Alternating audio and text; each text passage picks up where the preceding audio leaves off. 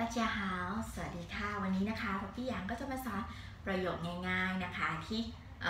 ใช้ได้บ่อยๆเหมือนกัน เวลาที่เราพูดบางประโยคออกไป เราไม่แน่ใจว่าเราเรียนประโยคถูกต้องหรือเปล่าหรือว่าใช้คำพูดได้ถูกต้องตรงตามแกรมมาหรือเปล่านะคะ เราก็พูดประโยคนั้นก่อนแล้วเราก็ถามเขากลับไปว่า ถามตอบไปว่า这句话我说的对吗这句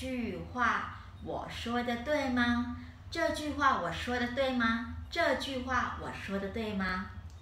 คำว่าเจอเจอมีความหมายว่านี่หรือนี้นะคะชื่อชื่อมีความหมายว่าประโยคนะคะหรือเป็นคำพูดเป็นลักษณะนามตัวหนึ่งหมายถึงประโยคแล้วก็ว่า ว่าก็คือคำพูด คราวนี้พอรวมกันสามพยางเจ้อชื่อว่าเจ้อชื่อว่าก็จะมีความหมายว่าคำพูดประโยคนี้นะคะคำพูดประโยคนี้เจ้อชื่อว่า我说的对吗我我นะคะมีความหมายว่า ฉัน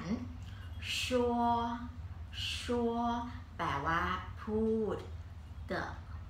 เตนะคะเตอนี้นะคะออกเสียงเบานะคะ ใช้บอกระดับนะคะว่า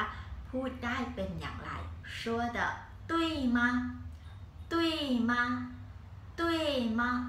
对แปลว่าถูกต้อง แล้วก็มาเสียงเบาตัวนี้นะคะใช้วางไว้หลังประโยคมีความหมายว่าหรือเปล่าหรือไหม说的对吗我说的对吗ฉันพูดถูกหรือเปล่า 这句话我说的对吗ประโยคนี้ฉันพูดถูกหรือเปล่าคะ